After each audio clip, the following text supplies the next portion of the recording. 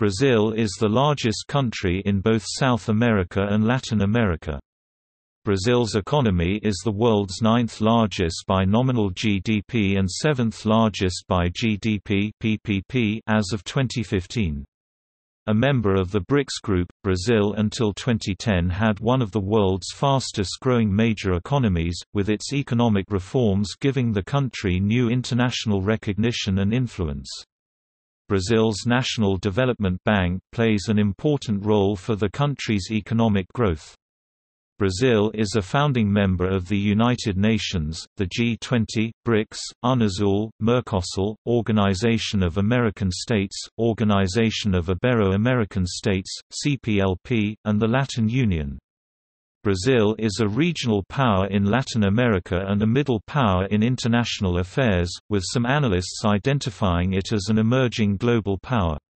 One of the world's major breadbaskets, Brazil has been the largest producer of coffee for the last 150 years. For further information on the types of business entities in this country and their abbreviations, see Business entities in Brazil.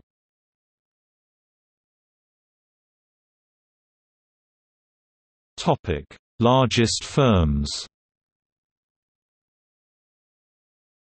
This list shows firms in the Fortune Global 500, which ranks firms by total revenues reported before March 31, 2017. Only the top five firms if available, are included as a sample.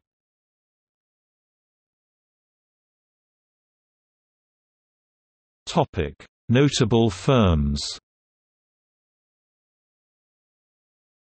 This list includes notable companies with primary headquarters located in the country. The industry and sector follow the Industry Classification Benchmark taxonomy. Organizations which have ceased operations are included and noted as defunct.